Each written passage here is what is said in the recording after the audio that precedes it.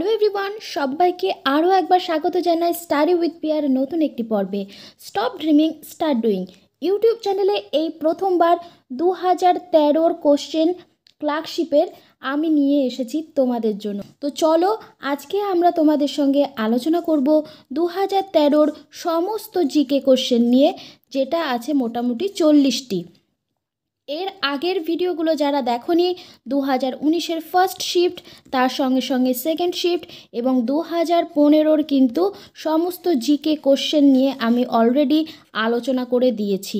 এর সঙ্গে সঙ্গে দু হাজার উনিশের মিসলেনিয়াস কোশ্চেনও কিন্তু আমাদের আলোচনা করা হয়ে গেছে।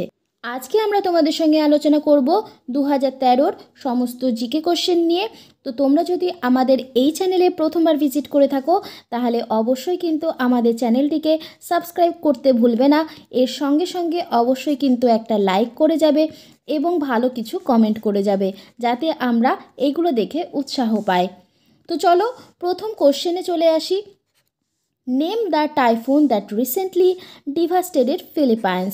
তো এটা দু হাজার তেরোর কোশ্চেন তার জন্য এটা কিন্তু একটা কারেন্ট অ্যাফেয়ার্স তো এখানে অপশান কি কি আছে?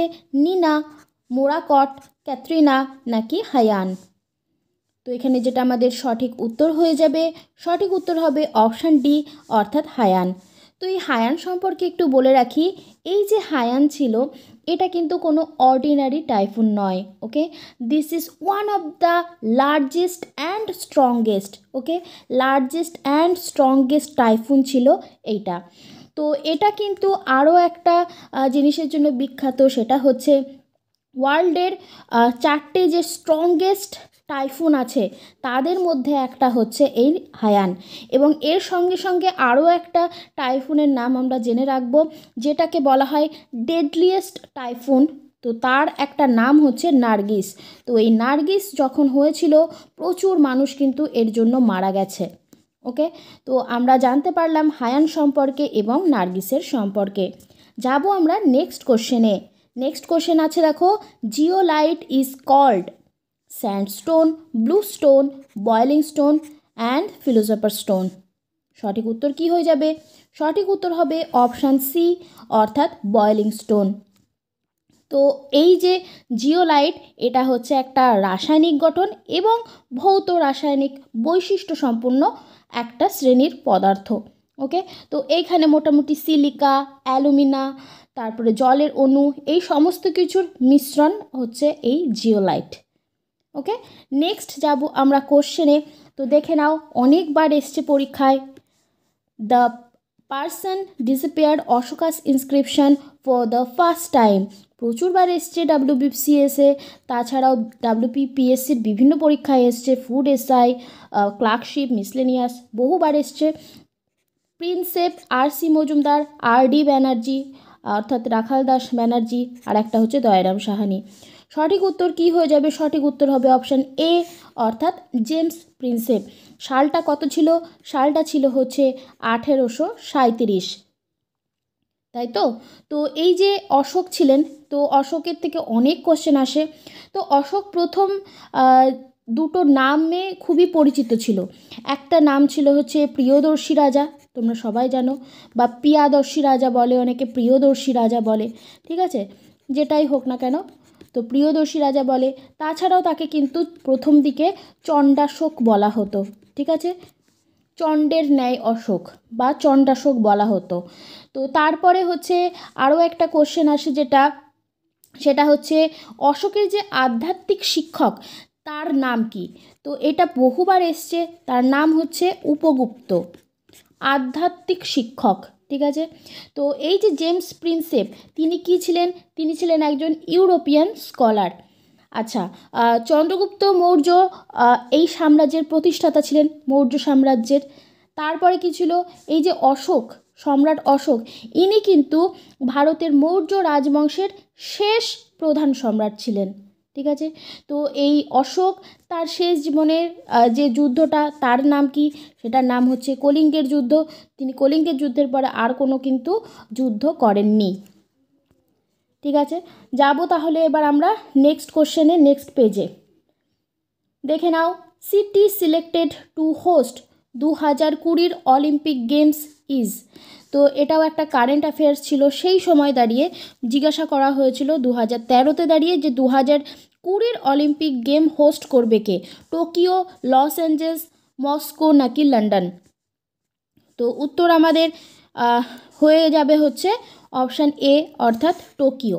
ঠিক আছে? তো দু হাজার কুড়ির যে অলিম্পিক গেমস তার হোস্ট করেছিল হচ্ছে টোকিও। তো দেখো, এই অলিম্পিক গেমস মোটামুটি চার ধরনের হয়ে থাকে।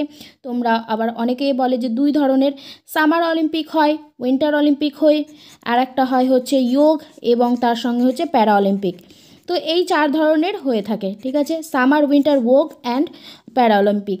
তো এই যে অলিম্পিক তোমাদের দিতে পারে যে দু হাজার চব্বিশে কোথায় হবে, ঠিক আছে? তো এটা একটু জেনে রাখো দু হাজার চব্বিশ মানে এই বছরই হবে, সেটা কোথায় হবে? প্যারিসে হবে। ঠিক আছে? দু হাজার চব্বিশে প্যারিসে হবে। তো এটা এখানে কতজন মোটামুটি পার্টিসিপেন্ট এখানে থাকবে? মোটামুটি ধরে রাখো দশ হাজার পার্টিসিপেন্ট এখানে থাকছে। তো কত তারিখ থেকে শুরু হচ্ছে? ছাব্বিশে জুলাই থাকে, শুরু হচ্ছে।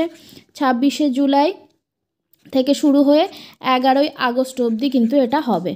ওকে? তো এখানে কিন্তু সমস্ত যারা অ্যাথলিট আছে, তারা কিন্তু একসঙ্গে গ্যাদার হবে। যাব আমরা নেক্সট কোশ্চেনে Acid rain destroyed vegetation because it contained O3COH2SO4K তো উত্তর আমাদের কি হয়ে যাবে? উত্তর আমাদের কি হবে? সঠিক উত্তর হবে অপশান সি অর্থাৎ এইচ টু এসও ফোর তো এইচ টু এসও ফোরকে আর একটা কী নাম বলা হয়? মানে এটার যেটা অরিজিনালি অরিজিনাল নাম, সেটা হচ্ছে সালফিউরিক অ্যাসিড তাই তো? Sulphuric acid. তো এটাকে কিন্তু স্ট্রং অ্যাসিডও বলা হয়। এটাকে কি বলা হয়? স্ট্রং অ্যাসিডও কিন্তু বলা হয়।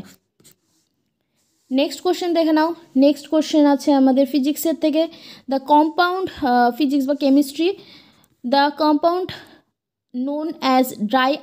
is not solid CO two liquid N H three liquid CO two আর একটা হচ্ছে CO two the compound known as dry ice যেই কম্পাউন্ডটি ড্রাই আইস নামে পরিচিত নয়। তো উত্তর কি হয়ে যাবে আমাদের এখানে? সঠিক উত্তর হবে সলিড কার্বন তাই তো সলিড সিও থ্রি তো এই দেখো, শুকনো বরফ কার্বন ডাই অক্সাইডের একটা কঠিন রূপ, ঠিক আছে? শুকনো যে বরফটা, অর্থাৎ ড্রাই আইস যেটা, সেটা হচ্ছে কার্বন ডাই অক্সাইডের একটা কঠিন রূপ। তো এটা কি কি জায়গায় ব্যবহার করা হয়? এক নম্বর হচ্ছে, যেমন হচ্ছে হিমায়িত খাবার যেগুলোকে বলে, যেমন হচ্ছে আইসক্রিম বলতে পারো, ঠিক আছে? তো এই আইসক্রিম সংরক্ষণের জন্য এই আমাদের ড্রাই আইস ব্যবহার করা হয়। আর কি কি কাজে ব্যবহার করা হয়? যেমন তোমরা বিভিন্ন জায়গায় দেখো যে বরফের যে বিভিন্ন রকম ভাস্কর্য, ঠিক আছে? তো বরফের বিভিন্ন রকম ভাস্কর্যতে কিন্তু এইটা ব্যবহার করা হয়। তারপরে আরও একটা জিনিসে ব্যবহার করে যখন বরফের দেওয়াল যাতে গলে না যায়, ঠিক আছে? সেইটা যাতে বন্ধ হয়, তার জন্য ড্রাই আইস সেখানে ব্যবহার করা হয়। এছাড়া আরও একটা জায়গায় ব্যবহার করা হয়, সেটা হচ্ছে থিয়েটারে। তো থিয়েটারে কীভাবে ব্যবহার করা হয়? শুকনো বরফ থিয়েটার যে প্রযোজনাগুলো থাকে, সেইখানে দরকার হয়। কারণ কি? সেখানে ঘন কুয়াশা, কোনো কোনো সিনে থাকে না, ঘন কুয়াশা। তো সেই জায়গায় কিন্তু দরকার পড়ে এই ড্রাই আইসের ঠিক আছে? তাহলে ড্রাই আইস হচ্ছে আমাদের যে আইসক্রিম তৈরি, সংরক্ষণ রাখতে সাহায্য করছে। বরফের যে ভাস্কর্য থাকছে, সেইখানে সাহায্য করছে। ঘন কুয়াশা, অর্থাৎ থিয়েটারে কিন্তু আমাদের সাহায্য করছে। ওকে? তো চলো যাব আমরা নেক্সট কোশ্চেনে an electrolyte can conduct electricity in the state of বলছে যে একটি ইলেকট্রোলাইট রাজ্যে বিদ্যুৎ পরিচালনা করতে পারে, কীরকম মাধ্যমে? Solid liquid as is aqueous solution নাকি গ্যাসীয় বা গ্যাসেস তো সলিড মানে নিশ্চয়ই জানো, কঠিন। লিকুইড মানে হচ্ছে তরল। অ্যাকোয়াস সলিউশন মানে হচ্ছে তোমাদের জলীয় যে দ্রবণটা, আর একটা হচ্ছে গ্যাসিয়াস মানে গ্যাসীয়। তো উত্তর আমাদের কি হয়ে যাবে? উত্তর হয়ে যাবে আমাদের অপশান সি অ্যাকোয়াস সলিউশন ঠিক আছে? তো ইলেকট্রোলাইট হচ্ছে এমন একটা পদার্থ যেটা গলিত অবস্থায় আর হচ্ছে জলীয় দ্রবণে বিদ্যুৎ সঞ্চালন করতে পারে, ঠিক আছে? কি বললাম? একটা হচ্ছে গলি, গলিত অবস্থায় আর একটা হচ্ছে এই অ্যাকোয়া সলিউশন অর্থাৎ জলীয় দ্রবণে। ঠিক আছে? এই দুটো দ্রবণে কিন্তু বিদ্যুৎ সঞ্চালন করতে পারে। নেক্সট কোশ্চেন দেখো। The pact was signed in nineteen through which Gandhiji decided to call off the civil disobedient movement civil disobedience movement তো উত্তর কি হয়ে যাবে? এটার বাংলা যদি তুমি করো, তাহলে কি হবে? যে উনিশশো একত্রিশ সাল ছিল, তো সেই সালে চুক্তি স্বাক্ষরিত হয়েছিল যার মাধ্যমে গান্ধীজি আইন অমান্য আন্দোলন প্রত্যাহার করার সিদ্ধান্ত নিয়েছিলেন। সেইটা কি? ভীষণ ইম্পর্ট্যান্ট একটা কোশ্চেন আমি তোমাদের পুরো জিনিসটা বলব একটা ছোট্ট গল্পের মধ্যে দিয়ে। তো উত্তর কি হয়ে যাবে? গান্ধীজি কার Curzon pact Gandhiji Nehru pact Gandhiji Irwin pact Gandhiji Mountbatten pact তো উত্তর হবে আমাদের অপশান সি অর্থাৎ গান্ধী আরউইন চুক্তি যেটা ছিল, ঠিক আছে? তো প্রথমে একটুখানি আরউইনের সম্পর্কে বলি। আরউইন সেই সময় কি ছিল বলো তো সেই সময় ছিল হচ্ছে British viceroy British viceroy of India, ঠিক আছে? সেই সময় দাঁড়িয়েছিল। হুম? তো এই যে গান্ধী আর আরউইনের যে চুক্তা, চুক্তিটা, ঠিক আছে? এটা হয়েছিল হচ্ছে নাইনটিন থার্টি ওয়ানে নাইনটিন থার্টি ওয়ানে কত তারিখ? ফিফথ মার্চ, এটাও কিন্তু দেয়, ঠিক আছে? এখন তো আবার এইসব তারিখগুলো উল্লেখ করে করে দিচ্ছে। তো ফিফথ মার্চ নাইনটিন থার্টি ওয়ানে ছিল, হয়েছিল। তো এই সময় কি হয়েছিল? তো ভারতীয় জাতীয়তাবাদী আন্দোলনের একজন বিশিষ্ট নেতা, মহাত্মা গান্ধী, এবং তার সঙ্গে হচ্ছে ব্রিটিশ ভাইসরয় লর্ড আরউইন, এরা দুজন মিলে এই চুক্তিটি স্বাক্ষর করেছিল। তো উনিশশো তিরিশের শেষ নাগাদ ভারতীয় জাতীয় আন্দোলন তার শীর্ষে পৌঁছে গেছিল। তো হাজার হাজার যে ভারতীয় ছিল, আমাদের ইন্ডিয়ানরা ছিল, তারা কিন্তু পরপর পরপর গ্রেপ্তার হচ্ছিল।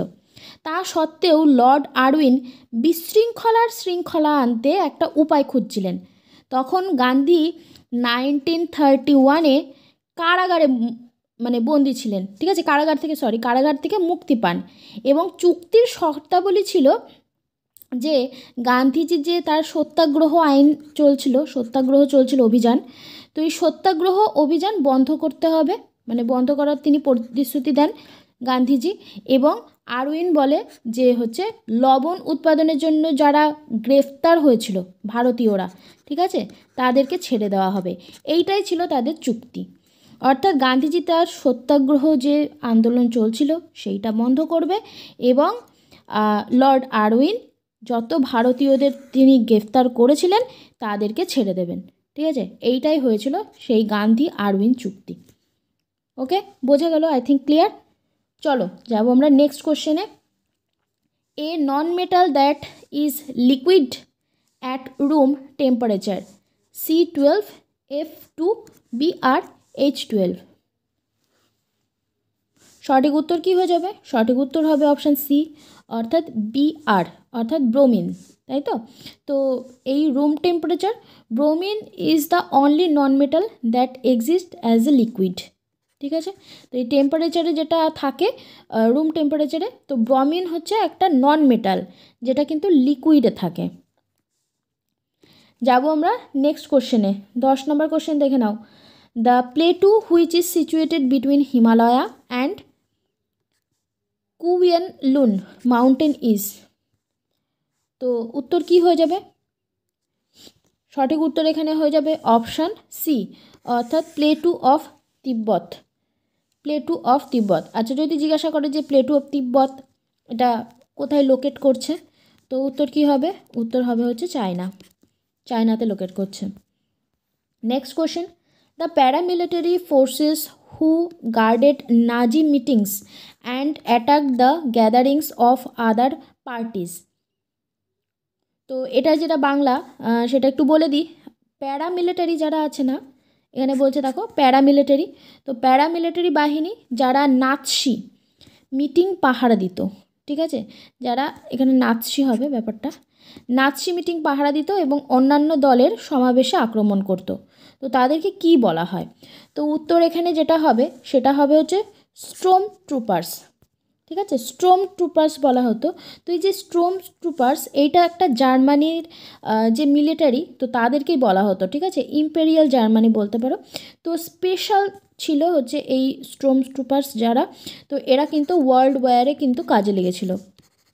ওয়ার্ল্ড ওয়ার ওয়ানে ঠিক আছে? তো এরা কী করতো? যে কোনো মিটিং বা ইয়েতে ঢুকে, সমাবেশে ঢুকে আক্রমণ করতো, ঠিক আছে? চলো নেক্সট কোশ্চেন দেখো।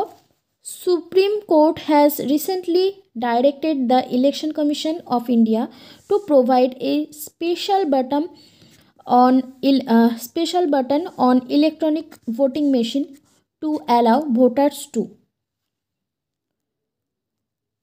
অর্থাৎ এই যে সুপ্রিম কোর্ট একটা জিনিস রিসেন্টলি করেছে, সেটা হচ্ছে একটা স্পেশাল বটন দিয়েছে।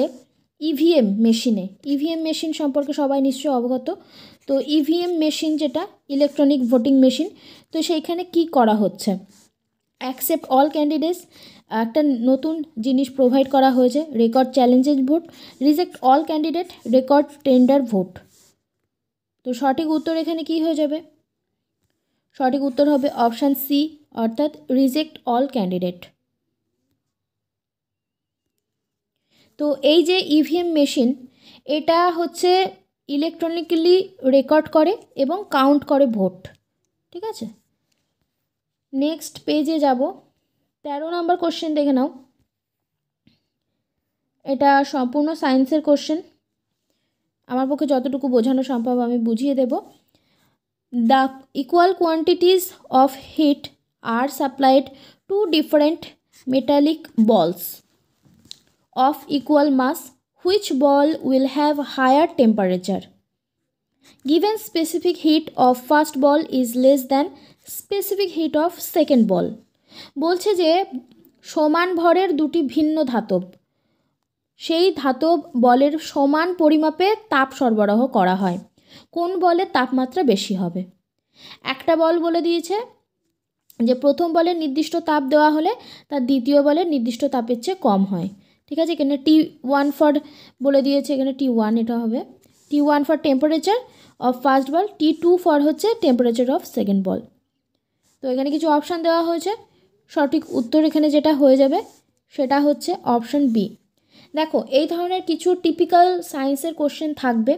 তো তোমরা যদি কিছু কিছু এই ধরনের কোশ্চেন পরীক্ষায় দেখো, তাহলে যদি না পারো, অবশ্যই এগুলোকে এড়িয়ে যাবে। কারণ এই ধরনের কোশ্চেন কিন্তু তোমাদের একটু স্পেশালভাবেই দেওয়া হয়ে থাকে। এগুলো অ্যাটেন্ড না করলে তোমরা পরীক্ষায় ফেল করে যাবে, এরকম ভাবার কিন্তু কোনো ব্যাপার নেই, ঠিক আছে? তো এই ধরনের কোশ্চেন না পারলে এগুলোকে একটু সাইডে রেখে দেবে। যেইগুলো পারবে, সেইগুলো ভালো করে করো। India is the gift Himalaya told by কে বলেছিল? India is the gift of Himalaya Vincent Smith Rameshchandra Majumdar Jadunath Sarkar K M Panikkar সঠিক উত্তর কী হয়ে যাবে? অপশান ডি অর্থাৎ কে এম পানিকার হয়ে যাবে আমাদের সঠিক উত্তর। Next question Tata iron and steel company is located in Odisha Bihar Jharkhand Madhya Pradesh ভীষণ ইজি কোশ্চেন আই থিঙ্ক সবাই পারবে। উত্তর হবে হচ্ছে ঝাড়খণ্ড। তো ঝাড়খণ্ডের জায়গাটার নাম কি? ঝাড়খণ্ডের জায়গাটার নাম হচ্ছে জামশেদপুর। তাই তো? আচ্ছা তো এই কোশ্চেনটা আসে টাটা, আয়রন অ্যান্ড স্টিল। তো এটা এখন আমরা কি বলি? টিস্কো। তো টিস্কো বলি। তো এই যে কোম্পানির নামটা চেঞ্জ হয়েছে কত সালে? সেটা হচ্ছে দু হাজার পাঁচে। তাই তো? নেক্সট দেখো, টাটা স্টিলের যদি আমরা বলি যে সিইওর নাম কি? তো আমাদের উত্তর কি হয়ে যাবে? T V Narendran. T V Narendran, ঠিক আছে? এমডিও বলতে পারো, সিইও বলতে পারো। নেক্সট কোশ্চেনে যাব, পরের পেজে ষোলো নম্বর কোশ্চেন দেখে নাও। Chief justice of supreme court of India is chief জাস্টিসকে supreme কোর্টের ভারতের চিফ জাস্টিস তো এটা তখনকার দিন ছিল। তো তার জন্য সেই সময়েরটা আমাদের জানার দরকার ছিল। কিন্তু এখন আমাদের এখনকারটা জানতে হবে। তো সেই সময় দাঁড়িয়ে আমাদের উত্তর কী হয়ে যেত? জাস্টিস পি সৎ শিবাম। তাই তো? জাস্টিস পি সৎ শিবাম। কিন্তু এখন আমরা দাঁড়িয়ে রয়েছি দু হাজার চব্বিশে। তো আমাদের এখন এখনকার যিনি চিফ জাস্টিস আছে তার নামটা জানতে হবে। তো আমরা অলওয়েজ বলব honourable doctor justice Dhananjay, Dhananjaya হবে মানে ধনঞ্জয়, ওয়াই, চন্দ্রচূড়, ঠিক আছে? চন্দ্রচূড়, ওকে? তো doctor justice Dhananjay, Y, Chandrachud, এখনকার chief justice of supreme court. Next question দেখো বাচ্চারা it is easy to catch a tennis ball than to catch a cricket ball because বলছে যে টেনিস বল ধরার থেকে টেনিস বল ধরা অনেক সহজ দেন ক্রিকেট বল সেটা কেন? The mass of a tennis ball is low the momentum of tennis ball is low the velocity of tennis ball is low and the pressure of tennis ball is low mass মানে তোমরা নিশ্চয়ই জানো মাস মানে হচ্ছে ভর। Momentum মানে কি? Momentum মানে বলতে পারো গতিবেগ। ভেলোসিটি এটাও তোমরা বলো, বেগ বা দ্রুত, দ্রুততা হ্যাঁ দ্রুততা বা এরকম কিছু একটা বলে। আর প্রেশার প্রেশার মানে তো তোমরা সবাই জানো। তো উত্তর কি হয়ে যাবে? উত্তর হয়ে যাবে হচ্ছে the momentum of tennis ball is low ঠিক আছে? অপশান বি হবে আমাদের সঠিক উত্তর। নেক্সট দেখে নাও। Transformation of energy takes place when a stone is thrown from a catapult is from অর্থাৎ বলছে যে শক্তির রূপান্তর ঘটে যখন একটি পাথর একটি ক্যাটাপল্ট থেকে নিক্ষেপ করা হয়। শক্তির রূপান্তর কীভাবে ঘটে? বলছে যে পোটেনশিয়াল এনার্জি থেকে কাইনেটিক এনার্জি নাকি মেকানিক্যাল এনার্জি থেকে হিট এনার্জি নাকি মেকানিক্যাল এনার্জি থেকে সাউন্ড এনার্জি নাকি মেকানিক্যাল এনার্জি থেকে লাইট এনার্জি তো উত্তর কি হয়ে যাবে? উত্তর হবে অপশান এ অর্থাৎ পোটেনশিয়াল এনার্জি থেকে পোটেনশিয়াল এনার্জি মানে হচ্ছে গতি শক্তি থেকে, সম্ভাব্য শক্তি থেকে, ঠিক আছে?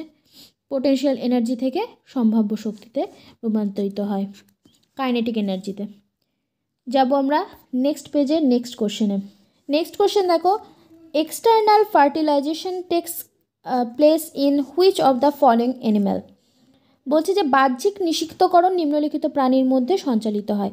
রেপটাইলস বার্ড টোড নাকি ম্যামালস তো উত্তর আমাদের এখানে কি হয়ে যাবে? উত্তর হবে আমাদের অপশান সি অর্থাৎ টোড হবে আমাদের সঠিক উত্তর।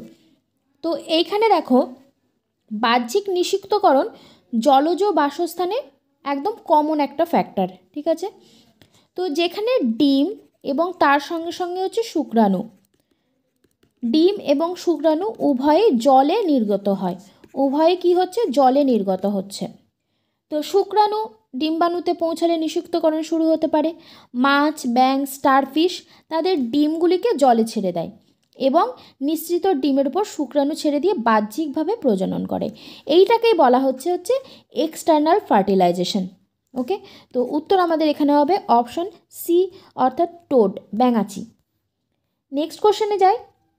বলছে a tank filled with water appear shallow because of the poverty of reflection, refraction, interference নাকি ডিফ্যাকশন তো উত্তর আমাদের এখানে কি হয়ে যাবে? রিফ্র্যাকশন হবে আমাদের সঠিক উত্তর। ঠিক আছে?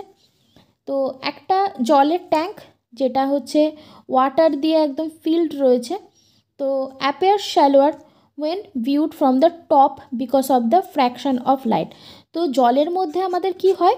একটা যে লাইটটা সেটা একদম তির্যক মানে একদম সরাসরি পড়ে, তাই তো?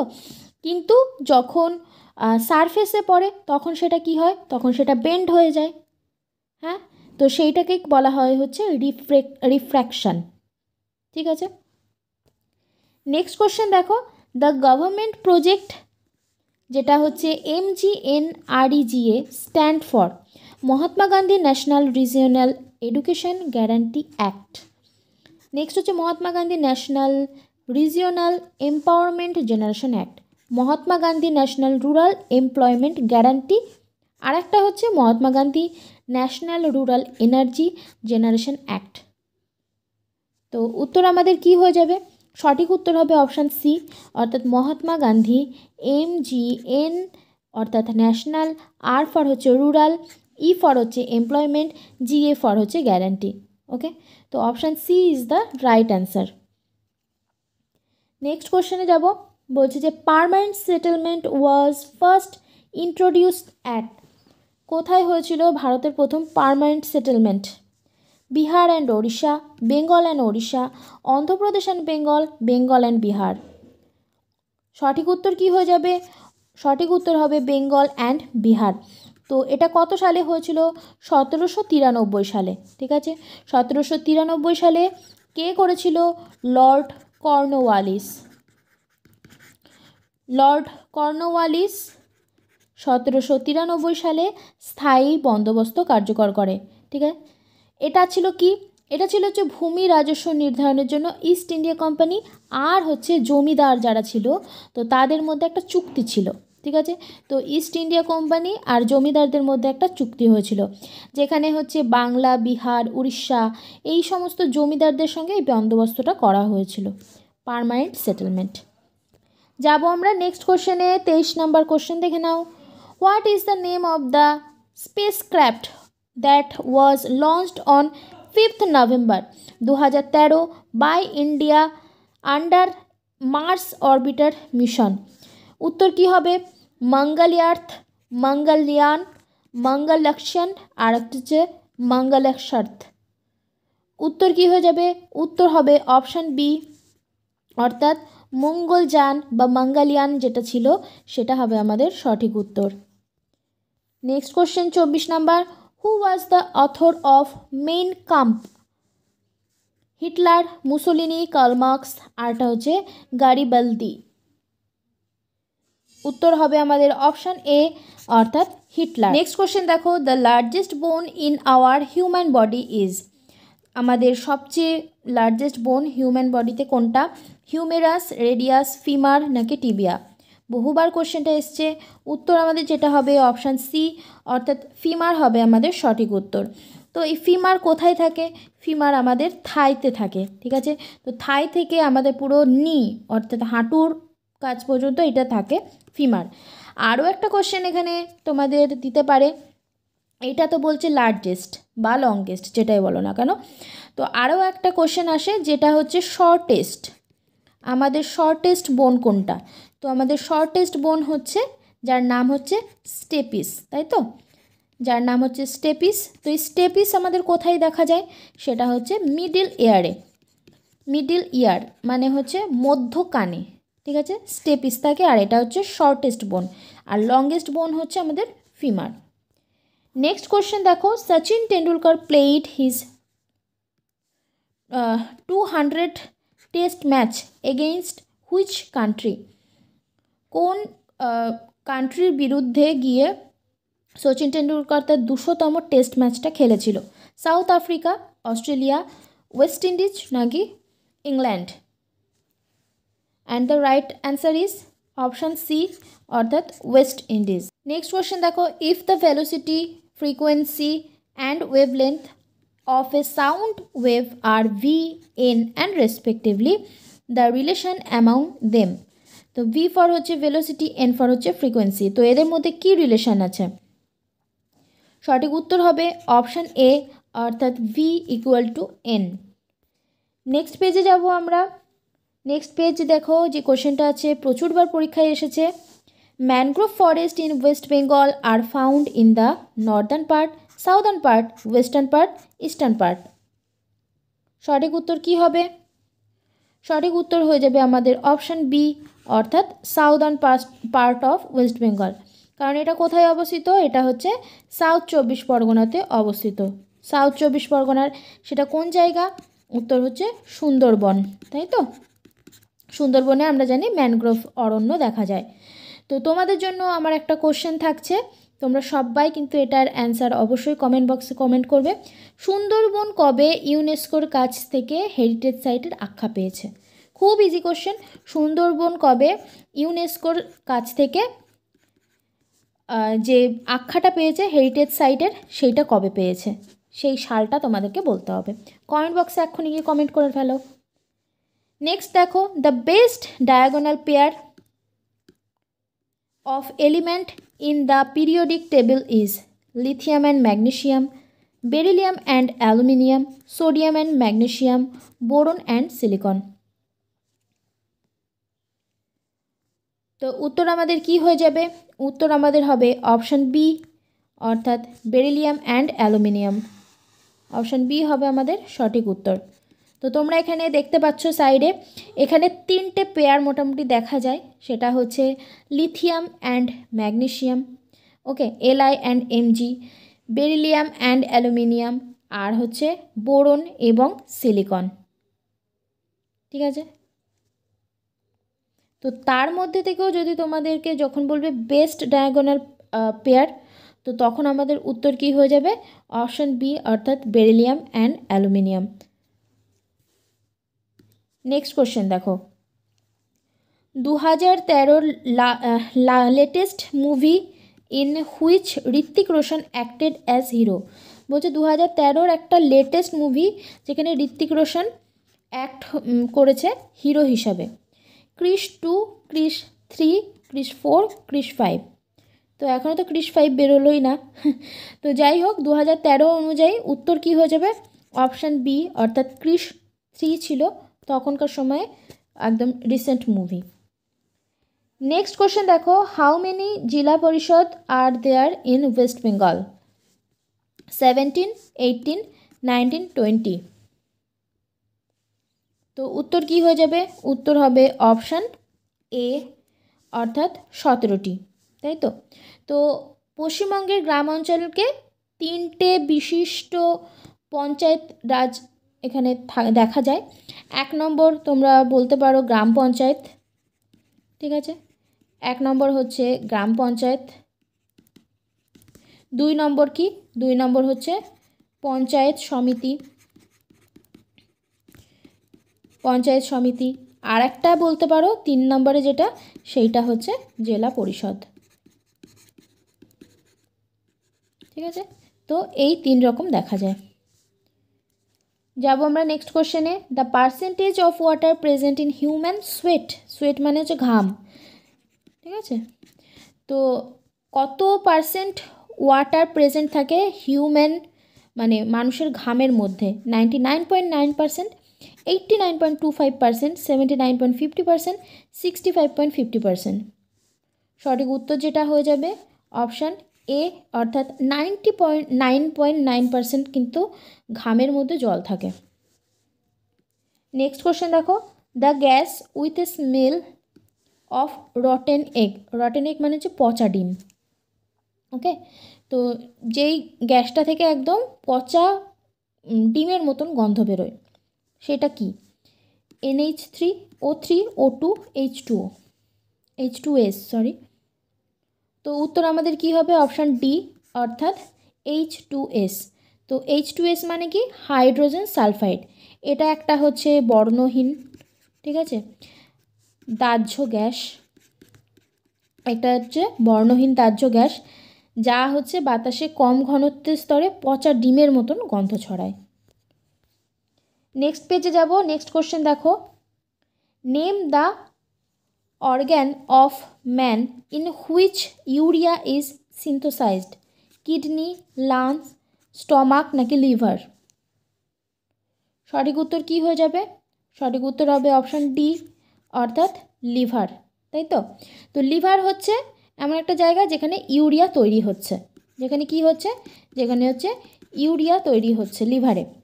তো ইউরিয়া চক্র একটি চক্রাকার প্রক্রিয়া যা অ্যামোনিয়া কার্বন ডাইঅক্সাইড এবং তার সঙ্গে সঙ্গে অ্যাসপার্টেট থেকে ইউরিয়া তৈরি করে। ঠিক আছে? নেক্সট কোশ্চেন দেখো। Thirty five number question the motion of a wheel rotating about an axis on the road is অর্থাৎ হুইল মানে তোমরা জানো রাস্তায় একটি অক্ষের চারিদিকে ঘোরানো চাকার গতি কী? হ্যাঁ? রাস্তায় একটি অক্ষের চারিদিকে ঘোরানো চাকার গতি কী? সার্কুলার মানে কি? বৃত্তাকার। লিনিয়ার মানে হচ্ছে রৈখিক বা সোজা যেটা বলতে পারো। লিনিয়ার এবং সার্কুলার দুটোই, রৈখিক এবং বৃত্তাকার। আর একটা বলছে ভাইব্রেটরি তো উত্তর আমাদের কি হয়ে যাবে? সঠিক উত্তর হবে আমাদের অপশান সি অর্থাৎ লিনিয়ার এবং হচ্ছে সার্কুলার ঠিক আছে? লিনিয়ার এবং সার্কুলার অপশান সি হবে আমাদের সঠিক উত্তর। Next question thirty six number দেখো। The type of soil preferred for cotton cultivation is অনেকবার এসছে পরীক্ষায়, বলছে যে কটন মানে হচ্ছে যে সুতি যেটা, তো সুতিতে যে সয়েলটা প্রেফার করা হয় সেটা কোনটা? ল্যাটেরাইট ব্ল্যাক সয়েল লোমি নাকি অ্যালোভিয়াল ভেরি ইজি কোশ্চেন উত্তর কি হয়ে যাবে? উত্তর হবে অপশান বি তাই তো? ব্ল্যাক সয়েল সবসময় ব্যবহার করা হয়। যেমন হচ্ছে তুলো তুলো হয় খুব ভালো এই ব্ল্যাক সয়েলে যাব আমরা নেক্সট কোশ্চেনে the least popular state of India is সবচেয়ে কম পপুল মানে পিপল থাকে যেখানে, সে ইন্ডিয়ার কোন রাজ্যে? অরুণাচল প্রদেশ, সিকিম, রাজস্থান নাকি মণিপুর? উত্তর কি হয়ে যাবে? উত্তর হবে অপশান বি অর্থাৎ সিকিম। তোমাদের জন্য অনেক কষ্ট করে সারাদিন কাজের পর তোমাদের জন্য এই জিনিসগুলো নিয়ে আসি। তো প্লিজ একটা লাইক তো বানতা হ্যাঁ। একটা লাইক করে দাও। তোমাদের জন্য একদম ফ্রি সাবস্ক্রিপশান একদম ফ্রি কোনো টাকা পয়সা কিচ্ছু লাগে না। তো একটা সাবস্ক্রিপশান একটা সাবস্ক্রাইব করে নাও, একটু লাইক করে দাও। একটা কমেন্ট আমাদের জন্য অনেক অনেক অনেক মূল্যবান, অনেক দামি। সারাদিনে খাটার পর যে পরিশ্রমটা হয়, সেটা তোমাদের এই ভালো কিছু কমেন্ট লাইক একটুখানি তোমরা যে শেয়ার করো, দেখো। এটার জন্য খুব মানে উৎসাহ পাই আমরা কাজ করতে। তো অবশ্যই প্লিজ একটা করে দাও, একদম ফ্রি আছে। চলো নেক্সট কোশ্চেন দেখো। A document written by hand is বলছে যে ডকুমেন্টটা একদম হাতে লেখা হয়, সেটাকে কি বলা হয়? An article a book a magazine a manuscript তো সঠিক উত্তর কি হবে? সেটাকে কি বলা হয়? ম্যানুস্ক্রিপ্ট বা মানুস্ক্রিপ্ট বলা হয়। Thirty nine number question governor of the Reserve Bank of India is doctor Raghuram Rajan doctor Shobha Rao Shri P Chandi Barman আর একটা হচ্ছে মন্তেক সিং আলুয়ালিয়া সঠিক উত্তর কি হয়ে যাবে?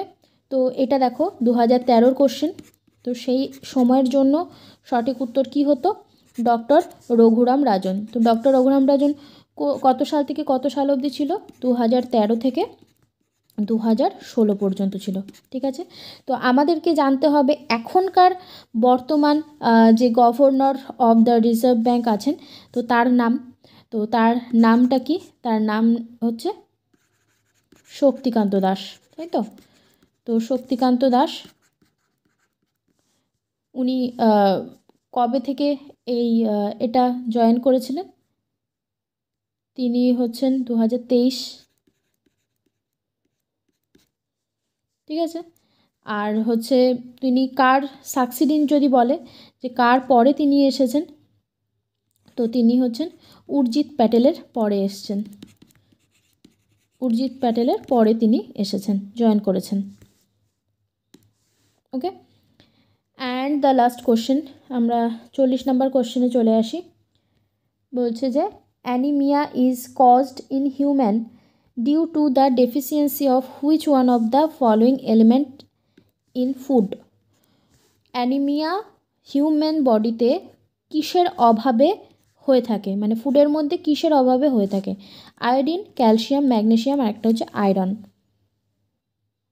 তো সঠিক উত্তর কি হয়ে যাবে? সঠিক উত্তর যেটা হবে অপশান ডি অর্থাৎ আয়রনের অভাবে কিন্তু এই অ্যানিমিয়া হয়ে থাকে। ঠিক আছে? তো এই ছিল তোমাদের মোটামুটি চল্লিশটা কোশ্চেন আশা করি তোমাদের ভালো লেগেছে এবং হেল্প হয়েছে। তো দু হাজার তেরোর কোশ্চেন কিন্তু তোমরা অন্য কোথাও পাবে না। সারা ইউটিউব খুঁজে নাও, ঠিক আছে? দু হাজার তেরোর কোশ্চেন কিন্তু আমি তোমাদের জন্য নিয়ে এসেছি। তো অবশ্যই একটা কিন্তু লাইক করে যাবে এবং বন্ধুদের সঙ্গে একটুখানি শেয়ার করবে বিভিন্ন গ্রুপ ফেসবুক হোয়াটসঅ্যাপ তোমাদের বিভিন্ন গ্রুপ আছে, সেগুলোতে একটুখানি প্লিজ শেয়ার করে দাও। আর অবশ্যই একটা লাইক করো। একটা ভালো কমেন্ট করে যেও তোমাদের কেমন লাগছে?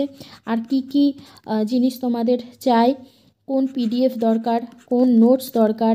কোন প্র্যাকটিস সেট দরকার? সমস্ত কিছু বলবে। প্র্যাকটিস সেট তো আমাদের ফুড এসআইয়ের জন্য কিন্তু অলরেডি চলছে। আমাদের যে ওয়েবসাইট আছে W W dot study dot in তো সেই ওয়েবসাইটে চলে যাও। সেখানে গিয়ে কিন্তু একদম ফুড এসের মক টেস্ট শুরু হয়ে গেছে।